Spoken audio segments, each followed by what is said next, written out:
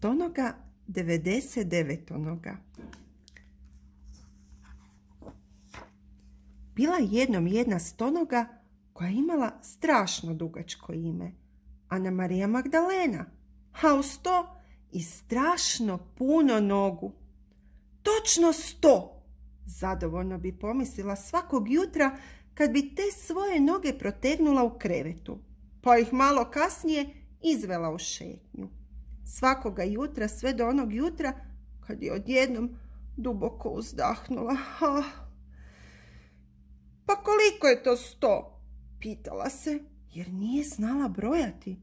I još se zapitala, a je li sto malo ili puno? Na nesreću bila su to takozvana glavoboljna pitanja. A to su vam pitanja od kojih boli glava.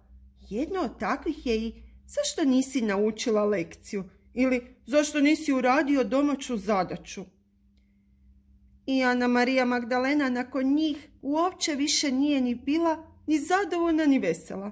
A u takvom ju je raspoloženju pronašao Krasimir, koji je bio zeleni skakavac i koji je zapravo nije pronašao, već se ona samo našla na njegovom putu, koji zapravo nije baš bio njegov put, odnosno ne samo njegov, ali a o tome ćemo drugi put. Dakle, Ana Marija Magdalena je bila jedna nevesela stonoga, puna glavoboljnih pitanja, a Krasimir je bio seleni skakavac, jedan od onih koji misle baš da sve znaju, a kad je Ana Marija Magdalena po treći put zaredom uzdahnula, Krasimiru je to već bilo maksimalno išlo na živce, pa je se vrtio glavom skroz u krug. Znate, onako kao što skakavci znaju. I rekao je, hej, a što s tobom nije u redu? Je li, molim te, ha? Šmrc. Bilo je sve od Ana Marije Magdalene. Ma daj, ma daj, pa nećemo sad valjda... Kao i svi skakavci, Krasimir nikad nije imao previše strpljenja, pa tako ni za rečenice koje je izgovarao i koje su stoga često bile nekako nedovršene. Ajde, kaži ti meni, što tebe to muči, ha? Joj, ne znam koliko je, sto. Ili to malo ili puno? Pitala je Ana Marija Magdalena. A Krasimir je tek zericu razmislio. Pa puno, odgovorio i dodao, definitivno. A koliko puno? Malo puno ili puno puno?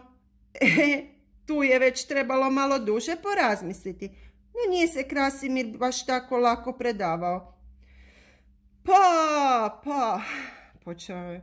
Hm, hm, nastavio je. Ovaj, rekao je, a zatim je brzo dovršio. Puno, puno. I opet je naravno dodao, definitivno.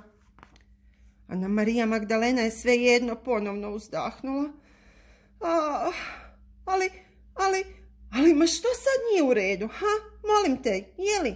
Pitao je Krasimir nestrpljivo. Šmrc, šmrc, ponovno će Ana Marija Magdalena. Tako mi je žao. I dalje više ni riječi jer se odjednom rasplakala. Ajoj, Oj, oj, oj, oj, poskakivao je Krasimir oko nje. S tobom se stvarno... Ma čega ti je sad žao, molim te, jeli? Ha? Žao mi je što ih ja sama ne mogu izbrojati. Ma ti stvarno nisi. A što ne bi mogla? Zato što ne znam. Ja ti ne znam brojati. To zašto? Mm, šmrc i buhu i šmrc. Mama, slušaj ti, Znao je Krasimir njezino ime, ali nije imao strpljenja da ga izgovori, jer je bilo strašno dugačko. Slušaj ti, rekao je, pa što ako ne znaš brojati? A brojati skroz tamo do sto, pa to je da čovjek to je skakavac naprosto poludi. Pa to je čisto gubljenje vremena. Uostalom, nije uvijek dobro baš sve znati. Ali ja bih ti htjela naučiti. Stalno je bila Ana, Marija Magdalena kroz sramežive suze govorila to jest srameživo kroz suze. A dobro, kad baš, rekao je Krasimir nakon nekog vremena. Odešću te ja kod nekoga tko zna brojati. Neki tebe nauči, jel vrijedi? Naravno da je vrijedilo. Najbolje da nije. I tako rečeno, učinjeno. Krasimir naprijed skok na skok, Ana Marija Magdalena za njim, stonog po stonog i kad su tako napravili tri kruga, Krasimir se zaustavi i reče Stigli smo! Ana Marija Magdalena pogleda oko sebe i lijevo, i desno, i ispred, i iza, pa upita. E, a gdje je taj koji zna brojati? Evo me, tu sam, uzviknu Krasimir. Pa ja sam taj. A zašto smo onda morali u krug? Zato što više nisam imao strpljenja stajati na istom mjestu. No dobro, to sad više nije nego... Dakle, ti želiš naučiti brojati jer želiš brojati svoje noge, jel tako? Tako je, kaže Ana Marija Magdalena. Dobro, ali nemoj poslije reći da te nisam upozorio. Evo, gledaj kako se to radi i uči, rekao je Krasimir i počeo brojati stonogine silne noge. I nemoj se micati, molim te, je jasno? Ana Marija Magdalena je bila dugačka kao njezino ime, pa čak i duža. A Krasimir je bio zeleni skakavac i nije imao strpljenja. Svako malo morao je dva, tri puta poskočiti da smiri živce, pa se brojanje otegnulo. Kad je napokon završio, obrisao je znoj iz čela i rekao je 99. Molim, kaže Ana Marija Magdalena, imaš točno 99 nogu, definitivno. To nije istina, ispalila je Ana Marija Magdalena. Ah, Krasimir se sav skamenio. Ja sam stonoga, a ne 99 onoga. Ti si krivo brojao. E, znaš ti što, kaže Krasimir. Ako meni ne vjeruješ, a ti ih sama izbroji. Sad znaš kako se to radi.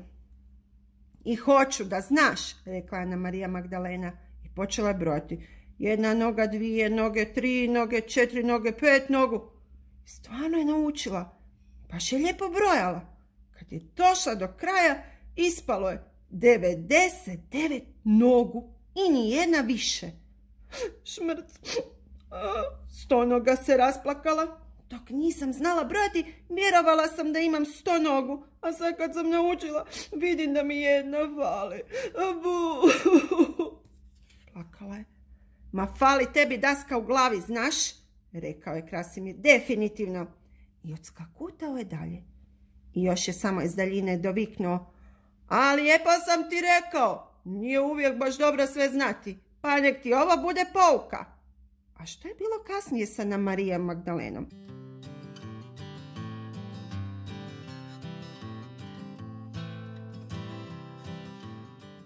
Usjedstva i ustanovila da ni jedna od njih nema baš sto nogu.